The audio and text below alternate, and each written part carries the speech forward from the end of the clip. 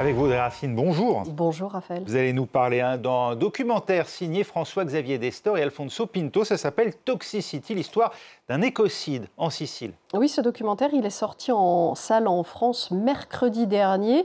Et les réalisateurs ont filmé les souffrances des habitants d'une ville en Sicile, Augusta, à l'ombre d'une gigantesque raffinerie. On va regarder la bande-annonce, on en parle après.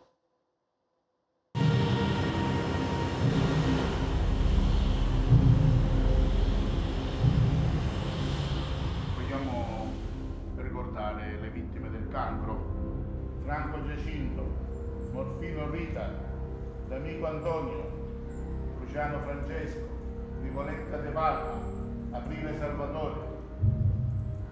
Io all'età di 7 anni ho avuto un forte dolore alla pancia e sono andata subito in ospedale.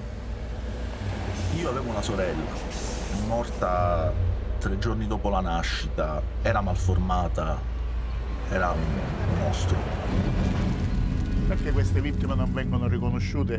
Perché lo Stato è assente nel riconoscere i diritti di queste persone?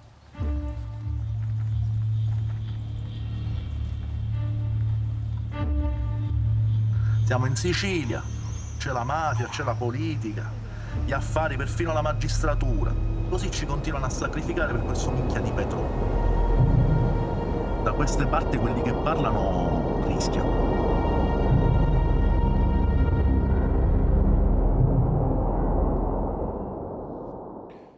Alors le film suit euh, plusieurs habitants qui ont souffert dans leur chair. Vous l'avez vu, une fille, euh, une jeune fille qui est tombée malade, sa mère dont le deuxième enfant était mal formé et n'a pas vécu, une avocate dont le père est mort euh, d'une leucémie après avoir été ouvrier toute sa vie dans l'usine, ce prêtre, vous l'avez vu, qui célèbre des messes pour les malades du cancer.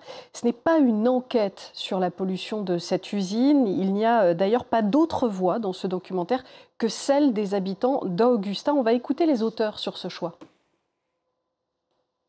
L'intention première de ce film était de redonner une voix et un visage à ces gens qui ne l'ont jamais eu. Et euh, par-delà, essayer de comprendre avec eux comment on peut faire l'expérience d'un territoire sacrifié. Il manquait vraiment un récit axé sur les habitants qui étaient toujours collés dans ces rôles des victimes, mais auxquels on rarement on leur donnait la parole.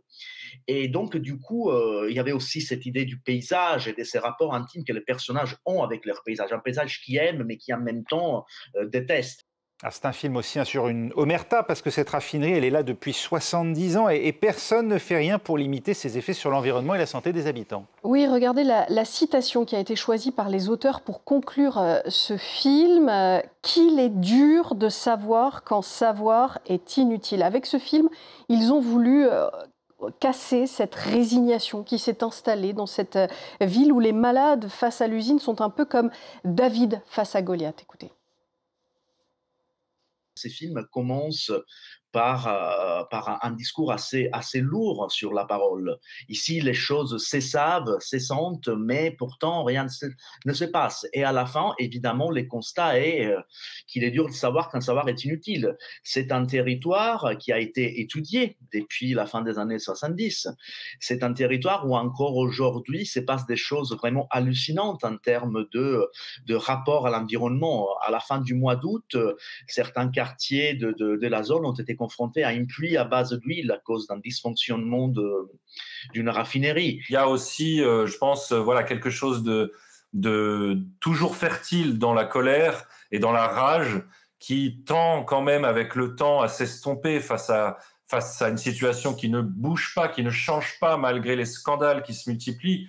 Donc il y a un sentiment de résignation, d'impuissance qui, qui, est grandissant et qui est un sentiment qu'on connaît tous aujourd'hui euh, dans les problématiques environnementales, mais, mais aussi sociales et économiques. Donc, euh, voilà, c'est aussi un film sur comment dépasser ce sentiment de résignation et faire encore de la colère quelque chose de fertile.